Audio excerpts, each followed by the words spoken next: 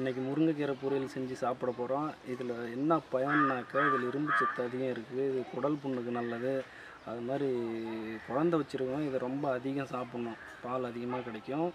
இது வந்து அவாய்ட் பண்ணாதீங்க யாருமே. வாரத்தில் ரெண்டு நாளைக்கு ஒரு டைம் வந்து இதை வந்து சாப்பிடுங்க.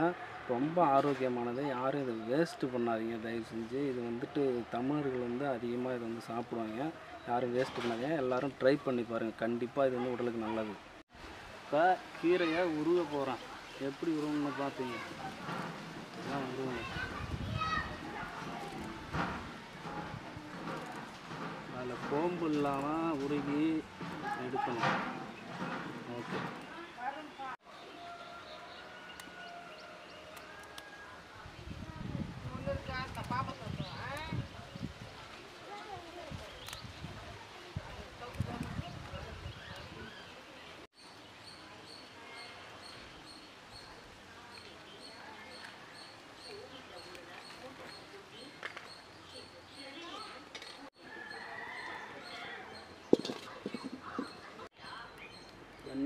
எண்ணெய்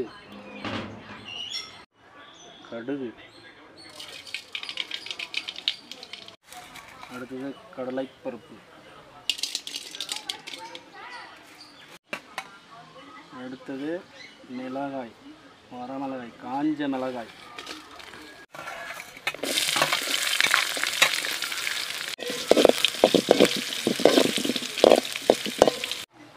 தேவையான அளவு தண்ணி. தண்ணி தான் முக்கியம். தண்ணி பார்த்து ஊற்றணும் அளவாக ஊற்றணும்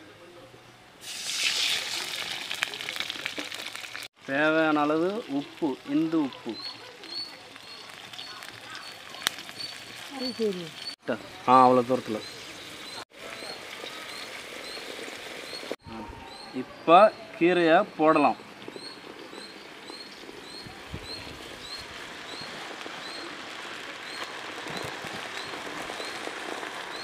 தண்ணியிலலாம் அலசலாம் கூடாது. அப்படியே போடணும். அப்போ தான் டேஸ்ட் இருக்கும்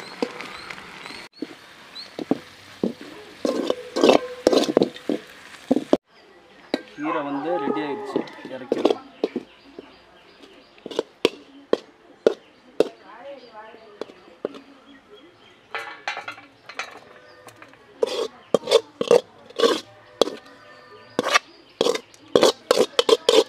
முருங்கைக்கீரை ரெடி ஆயிடுச்சு பார்த்து இந்த மாதிரி சமைச்சு சாப்பிடுங்க. வாரத்தில் ரெண்டு டைமு சாப்பிடுங்க. வாரத்தில் ரெண்டு நாளைக்கு ஒரு டைம் சாப்பிடுங்க.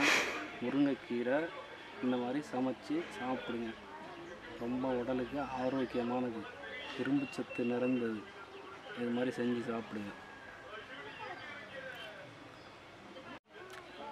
எங்கள் சேனலை மறக்காமல் சப்ஸ்கிரைப் பண்ணுங்கள் சப்ஸ்கிரைப் பண்ணுங்கள் பெல்லைக்கனை கிளிக் பண்ணுங்கள் இந்த திருட்டுச்சோறு சேனலை மறக்காமல் பாருங்கள் வீடியோவை ஃபுல்லாக பாருங்கள் சப்ஸ்கிரைப் பண்ணுங்கள் பெல் ஐக்கனை மறக்காமல் கிளிக் பண்ணுங்கள் எல்லாமே வந்து எல்லா வீடியோவும் உங்கள் நோட்டிஃபிகேஷனுக்கு வரும். எல்லாரும் இந்த மாதிரி செஞ்சு சாப்பிடுங்க. உடலுக்கு ஆரோக்கியமாக எப்போதும் இருங்கள்.